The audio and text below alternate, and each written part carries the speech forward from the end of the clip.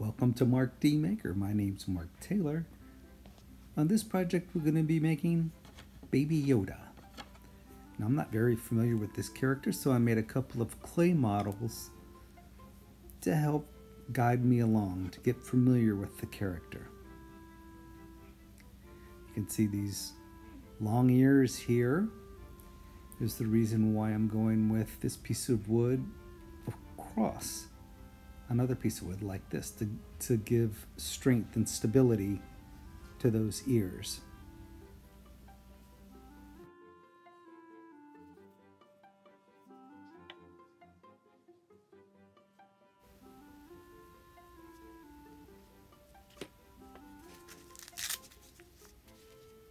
So here I'm looking at the uh, the dowel and finding a drill bit that works. It fits with the dowel. I usually line the dowel up with the base of the drill bit, the shank, which is what size hole it's going to drill. You can judge by the shank. And just go right into the center. I just drew a, a cross from corner to corner.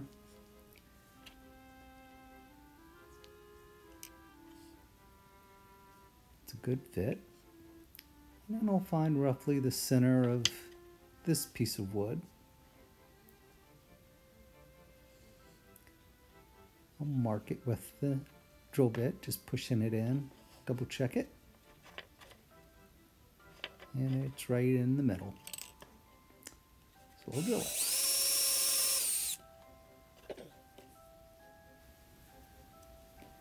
So I have a pair of nail clippers for a cat and I just crimp around that dowel and just snap it. It cuts into it deep enough that it won't splinter and uh, makes a quick go of it.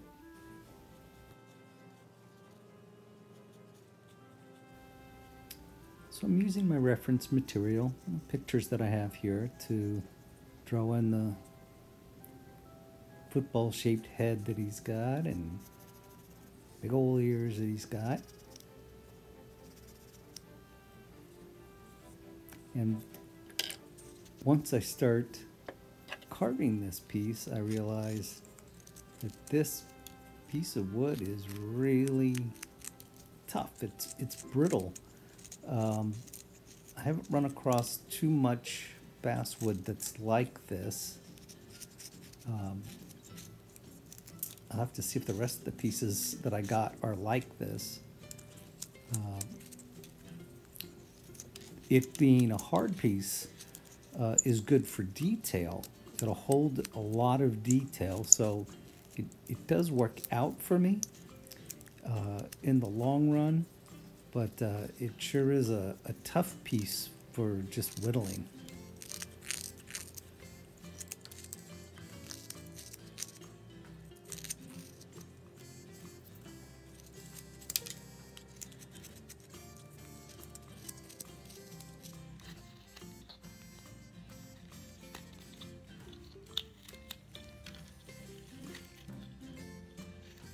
So it's right along about here that I decided this is going to take me forever.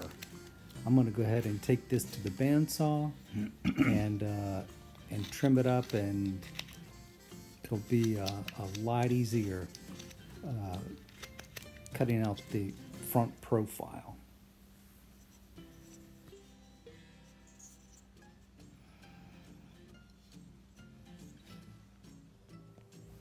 So here you see that I took this piece of wood to the bandsaw. It was just so difficult to carve. The bandsaw isn't a necessity, but it sure makes it a lot easier when you run into a difficult piece of wood like this one.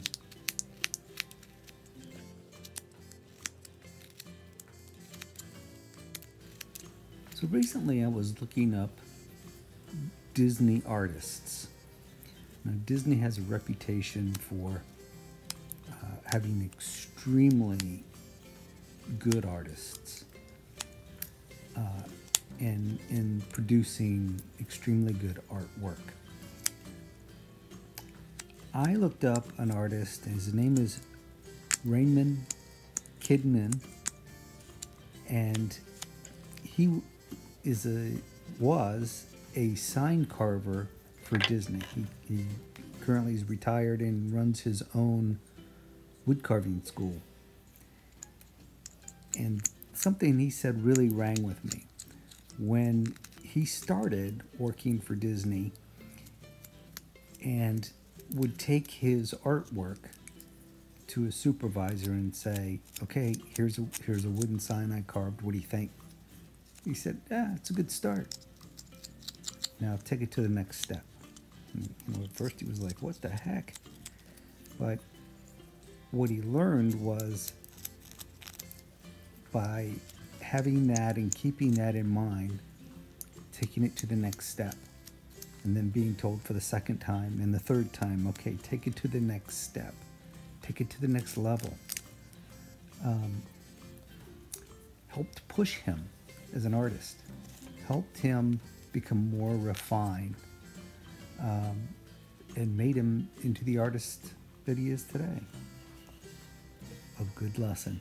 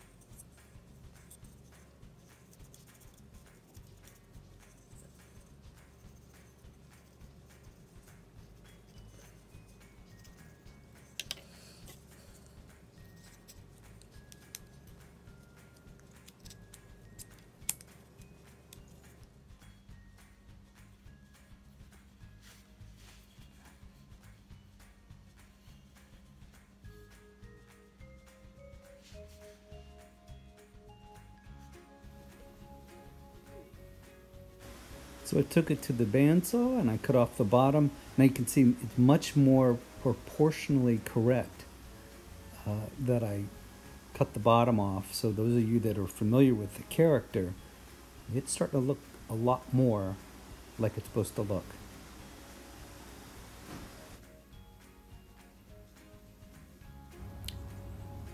So here I'm working on the collar of this jacket. Just the stop cut all the way around and relieving. Here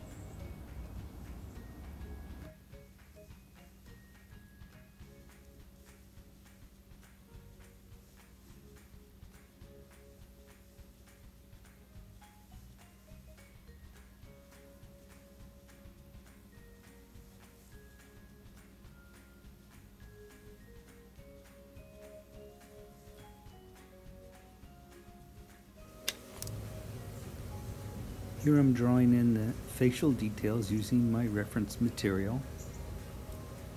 I'm taking my time. I do erase a lot. So you, you draw it and erase and draw it until you feel like you get it right. Having patience with this. There's a lot of little tight curves here. Uh, and you'll see how I handle that later on using a sanding stick. I was going to use a Dremel, but uh, a lot more control with a little sanding stick. Here I'm using a mini gouge. It's a number seven sweep. And it does good work of hollowing out the ear area.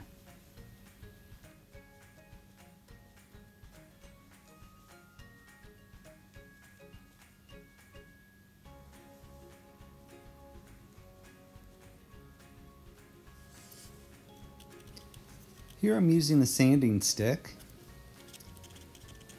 and I'm using the sanding stick to get the impressions into the face, so like the, the deep areas around the eyes, uh, above the eyebrows.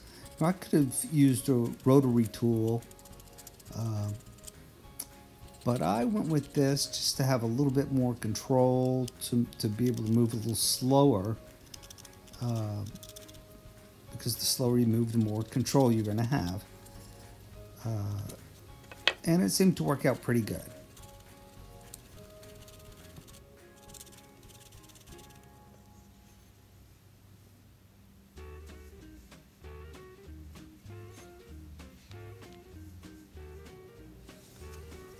Right here I have a little ball tool, as you can see, and I'm just burnishing areas.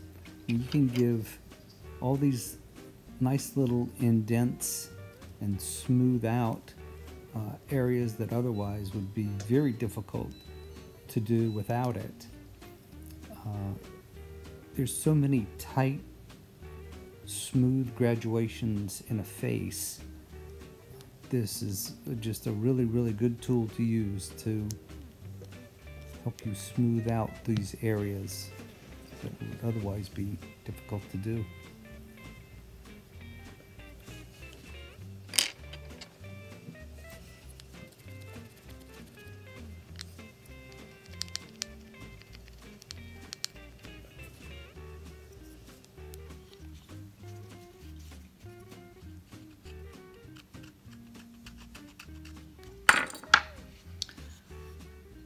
So I'm at the point now where I'm getting ready to take this and paint it. But I'm looking at my reference material and these sleeves are a bit long. I could shorten them to make them more accurately match my study reference. But they're also flatter than I would like.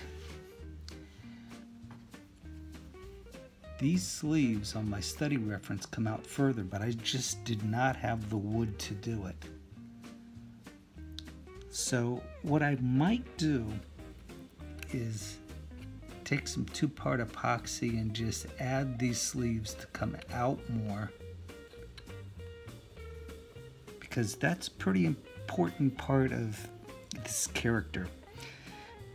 What what really makes something look like what you're trying to make it look like is the is the outer perimeter of it gives you that instant uh, acknowledgement. Oh that's what that is by the outer perimeter of what it is. That's why when soldiers are in battle they use camouflage and they put sticks and, and branches and ghillie suits to blur their outer dimensions so they're not recognizable as a human. And, and so these sleeves that come out and, and shoot right down and the three little fingers that come out is such an important part of this character that I think I'm going to just go ahead and add two-part epoxy to bring these sleeves out and to add those little fingers to it. Okay, so here's what I did. I, I shortened these these uh, sleeves on this jacket to make it look more in proportion to what my study reference says it should be. And I'll add two-part epoxy onto here, but I might as well add some movement since I'm going to be using the two-part epoxy. Now I could do this with an extra piece of wood, cut this off and add it out, but since I'm going to be in the epoxy and using the epoxy, I'll, I'll make this sleeve completely out of epoxy and make it more forward like I have this character. That'll add a little bit of movement, a little bit more life to it. And as you see, I have a little bit of a sweep here, adding a little bit of movement as well. Okay, so I'm switching over really from wood carving to sculpting at this point. Um, I have my two-part epoxy already mixed up. I have, uh, I removed this arm since I'm, I'm, going to be forming this complete arm out of two-part epoxy and extending this arm out a little bit. Um, here's my sculpting tools and it's really this is about two sets um, of sculpting tools there's there's some repetition here and um, but it's fine I customize these every once in a while just for whatever I'm working on so I'll be using those I got a couple of cheap plastic ones that you can pick up really cheap at your art supply store I have these silicone, I believe they're called nubs, silicone nubs. These are very useful because they don't stick to the two-part epoxy. Eventually, as the resin uh, hardener starts to kick in, this becomes very sticky. So you'll have to, if you're using metal tools, keep them wet and, and it won't be so hard to work with. And I have some tools that I make myself. This is a, a, piece of 10 gauge copper wire. I just took a hammer and smashed the end down here and, and uh, just made them in different shapes. When I was done smashing, I sanded them. Uh, and you can make these as smooth as you want. Just keep going finer and finer with your uh, sandpaper.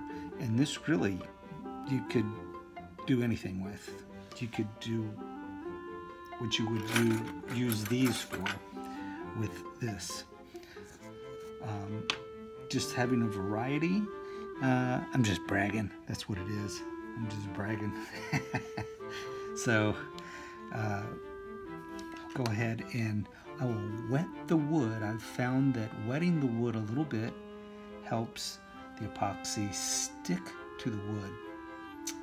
Um, and when attaching epoxy to the wood, uh, crimping it onto the wood, mashing it down into the wood, uh, really helps it adhere as well.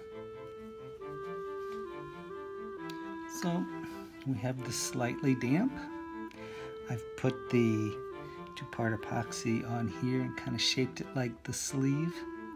And folks, just a few minutes ago, I saw the biggest skunk I've ever seen walk across my back porch. And now my whole house stinks. Pew. Hope he's not living anywhere close. Cause he's a stinky boy.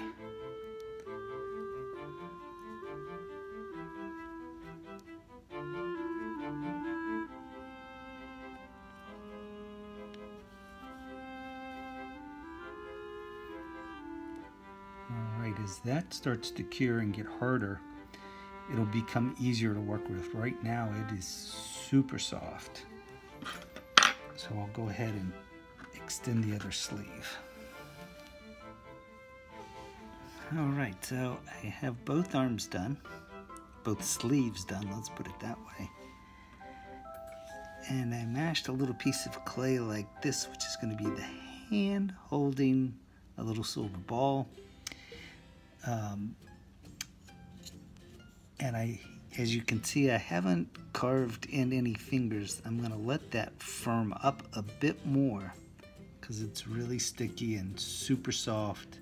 It just deforms and it's very hard to work with with detail um, when it's this soft. So you get the basic shapes and forms and then as it progresses you can go back can carve this that uh, stick shift ball into a smaller ball and put the fingers into it, carve the fingers into it. Uh, I will just make sure I crimp it in there real good with the other clay and let that set up a little bit and do the details later.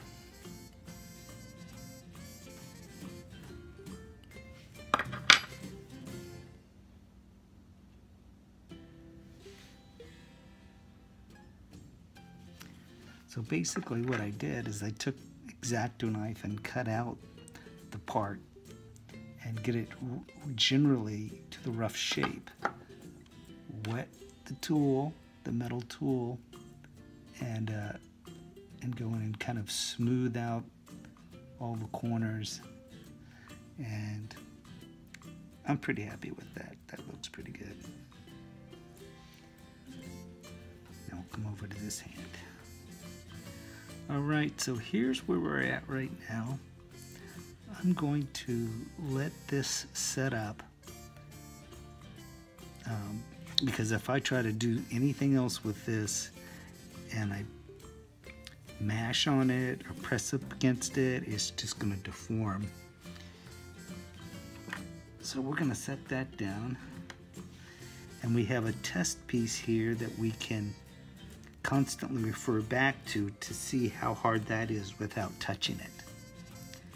Uh, whenever I glue or use epoxies, I always make a test piece so I don't have to disturb that. I can always rely on the test piece. It's all the same batch. A little bit of water. This is just an undercoat. I'll do a little bit of uh, flow aid.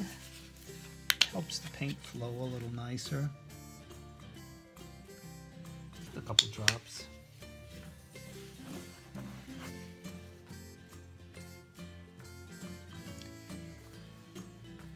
And this is just priming it, getting it ready. The reason why I'm going to use primer instead of doing a wood, like a stain with paint, is because the different colors here, I want to make sure that it gets completely covered.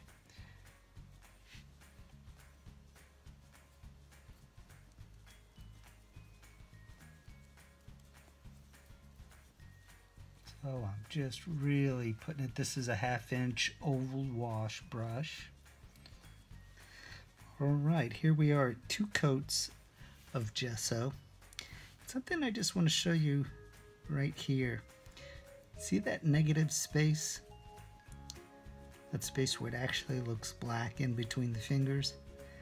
Negative space can be a very powerful thing in a carving or a sculpture. It adds a lot of a lot of depth. something to consider. I have a mixture here of sage green, forest green, and hunter green. Now I have three or four different pictures of this character and they're all a different green. So I don't know if, if it was, you know, lighting or or what, but there's so many different shades of green and so many different pictures it's hard to tell what the true color is. But I think this is pretty close, pretty representational of what the character's supposed to be.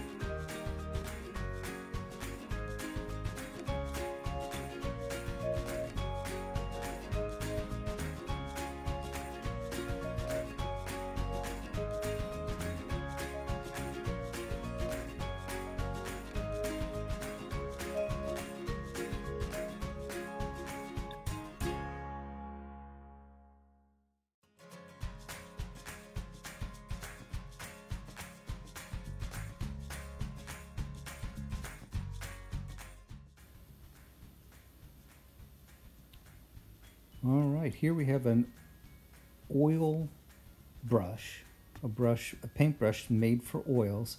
It's made from hog hair. It's very stiff and it's perfect for stippling, doing a stippling effect like this.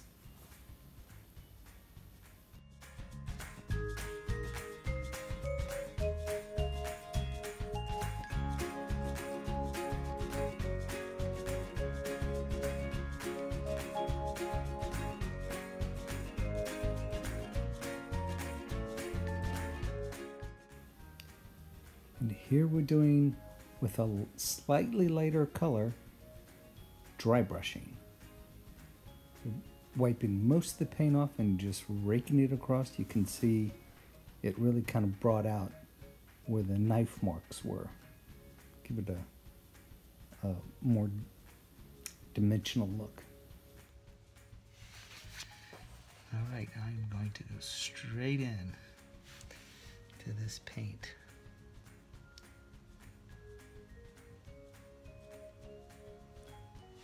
The eyes.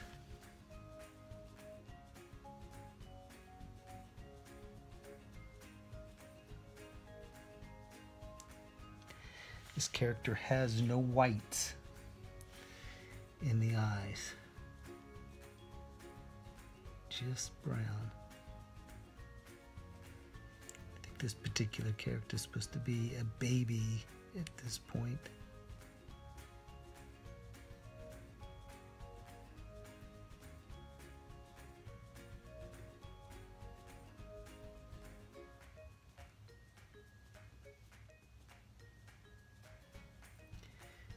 Time. The eyes are very, very important. That's what people kind of connect to. That's what they.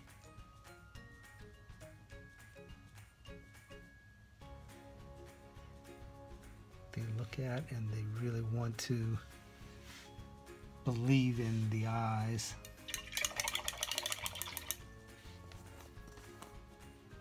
I'm to let this dry and we're to put the dark pupil in the middle and we're going to find some clear and put clear over this so it'll really pop.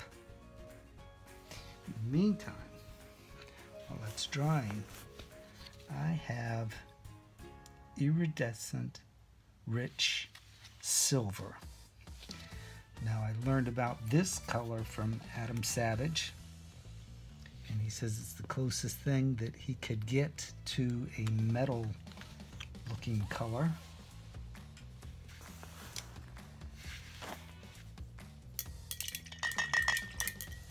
I'm a fan of Adam Savage. I try to watch his everyday builds, which are almost every day. And I've learned a lot from him. People like Adam Savage, Jimmy DiResta.